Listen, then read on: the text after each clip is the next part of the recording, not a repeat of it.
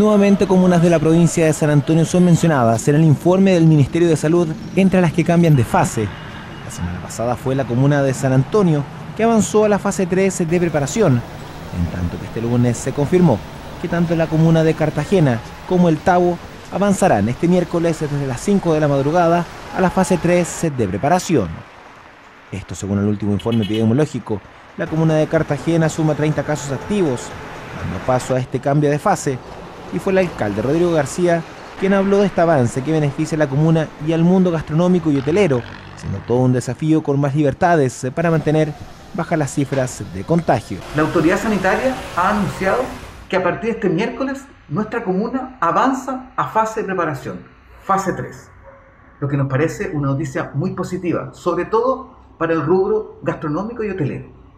Eso también nos significa que tenemos que tener más responsabilidad el autocuidado es muy importante para que de esa forma no podamos seguir aumentando nuestros contagios y no tengamos que retroceder. Por lo tanto, el llamado es a esta mayor libertad, mayor responsabilidad. Mientras que en la comuna del Tao los casos han bajado considerablemente y cuentan ya con nueve casos activos, lo que para el alcalde del Tao, Alfonso Muñoz, es una buena noticia para la reactivación económica, aunque se mantiene la alerta y que cada vez que avanza de fase, aumentan los casos. Bueno, el que avancemos a fase 3 es positivo desde, el punto de vista de la reactivación económica, de la movilidad para muchos vecinos y vecinas,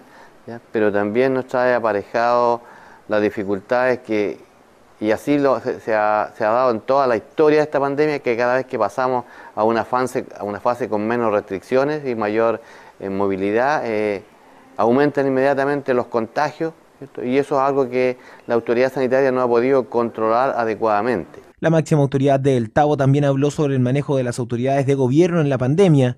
donde su comuna se ha visto afectada por la gran cantidad de personas que visitan la comuna y han saturado el sistema de salud local. Acá la crítica de Muñoz al gobierno por el manejo en este periodo. Desde el primer día que se declaró esta pandemia en este país,